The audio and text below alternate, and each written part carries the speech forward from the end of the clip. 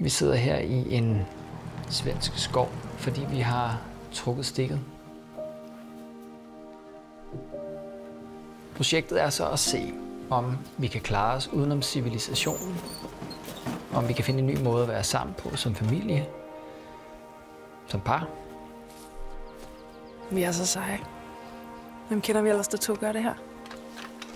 Hvad håber du på, vi finder herude? Jeg håber på at finde dig. Hinanden.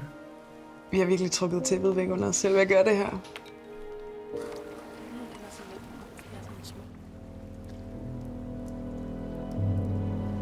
Sejt. Hvad så? Se derude. Er det mennesker? Åh oh, nej. Nej, nej. Jeg synes, at vi bliver nødt til at redefinere projektet. Det forstyrrer mig rigtig meget, at vi potentielt ikke er alene herude. Nemo!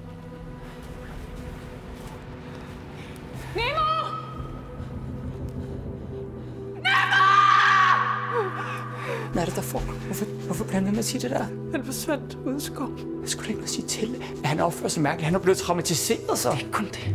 Han er helt galt. Han er ikke sig selv.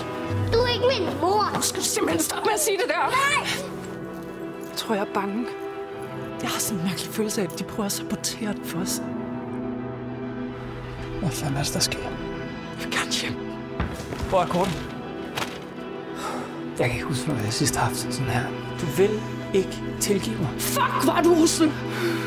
Jeg ville bare have, at du skulle føle dig lige så lille og uelsket, som du har for mig til at føle. Du spurgte, om jeg mente det, jeg sagde. Det gjorde jeg.